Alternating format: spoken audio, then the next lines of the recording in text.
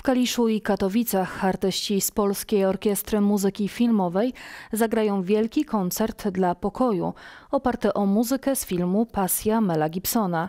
O szczegółach mówi organizator Adam Kędzierski.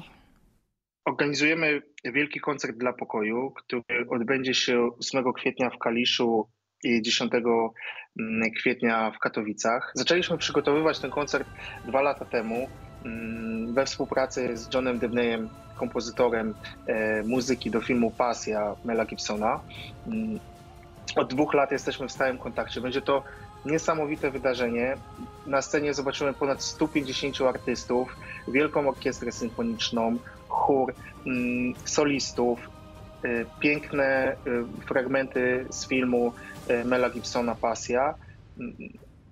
A co jest y, takie wyjątkowe w tym projekcie, to to, że usłyszymy ścieżkę dźwiękową, która nie była wykorzystana w filmie. Będą to rozszerzone wersje tego, co mogliśmy usłyszeć w filmie Mela Gibsona.